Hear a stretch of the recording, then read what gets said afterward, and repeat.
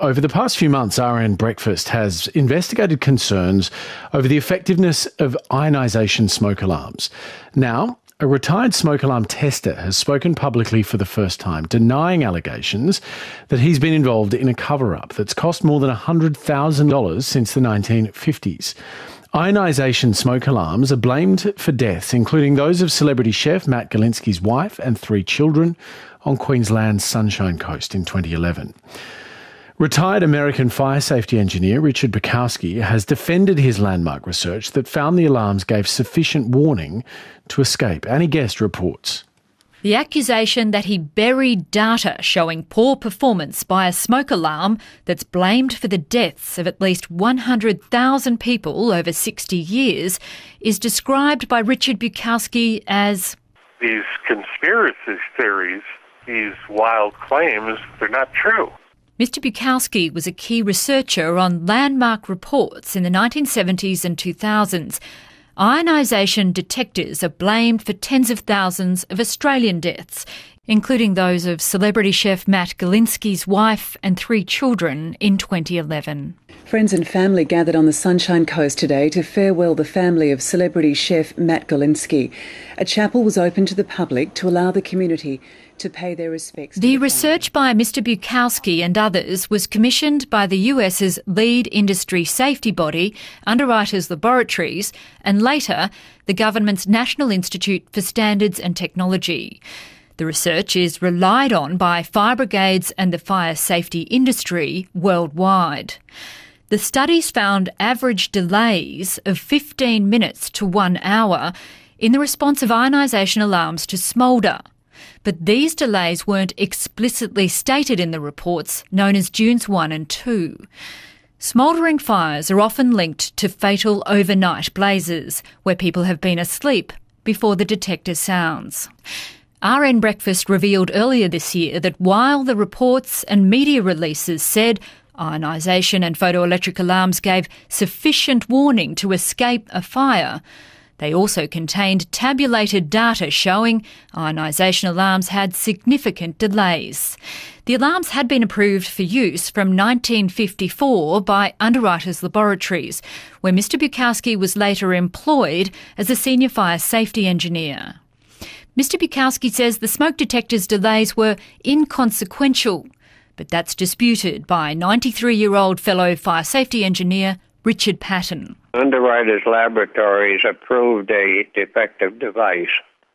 Many people died because it went in and it didn't work.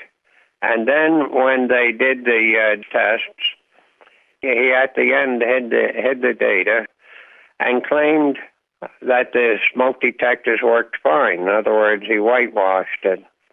And uh, by then, uh, he was in so deep, and Underwriters was in so deep uh, nobody wanted to no nobody wanted to say that the emperor had no clothes, so to speak.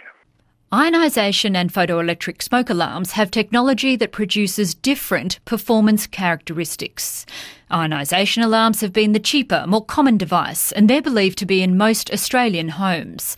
But photoelectric alarms have been compulsory in other Australian buildings where people sleep, such as hospitals and hotels, since 2004. Authorities have been so concerned in Queensland and the Northern Territory that they've gone out on their own to mandate photoelectric alarms in all homes. In New Zealand, retailers began removing ionisation alarms from shelves earlier this year after research and recommendations from Consumer New Zealand. And the United States is introducing a tougher smoke alarm standard that includes a smouldering fire test that ionisation alarms are unable to pass, likely forcing them off the market by 2020. Mr Bukowski acknowledges the standard as a positive development, but denies his reports buried the ionisation alarm's delay or that the delay is significant. It was pre- presented in terms of escape time. And so if there was an hour delay between an ion and a photo in a smoldering fire, you would see an hour more escape time for the photo than you would for the ion. so it's there in these escape time graphs, but it's not explicit in terms of, you know, th- this is an issue. More than a decade ago, Australian fire safety experts lobbied for a higher standard, similar to that now adopted in the US. But the Australian Building Codes Board rejected the push. They consulted Mr. Bukowski about his research. I can't say why Standards Australia didn't adopt these new tests 10 years ago. I certainly never lobbied against uh, anything that Standards Australia was trying to do or ABCB was trying to do. The Australian Building Codes Board was unaware the US is adopting a new standard before RN Breakfast reported it in June. Senior board members have since sought briefings on the US changes, which are forecast to see photoelectric based technology dominate the smoke alarm market. But regardless, Mr. Bukowski argues the ionisation alarm's delay is immaterial. You have a flaming fire, you may only have three minutes before things get deadly.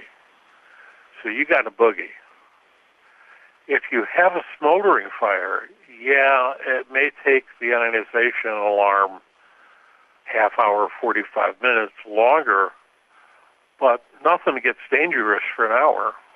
But that's a misleading way to think about the data, according to a member of Underwriters Laboratories Smoke Alarm Committee, Jay Fleming. He's also Boston's deputy fire chief and has been at the forefront of campaigning for higher standards for ionisation alarms. He told RN Breakfast earlier this year that the research found that in smouldering fires involving synthetic furniture, occupants could be trapped by smoke and eventually killed by the fumes before an ionisation alarm responded or within two minutes of the alarm going off. The major smoke alarm manufacturers, Schneider Electric and United Technologies Corporation, have repeatedly ignored or declined interview requests and have never publicly responded to allegations ionisation alarms are deadly. Annie Guest reporting there. And the federal government has previously referred RN Breakfast to the Australian Building Codes Board, which has said there's no evidence ionisation alarms are responsible for deaths.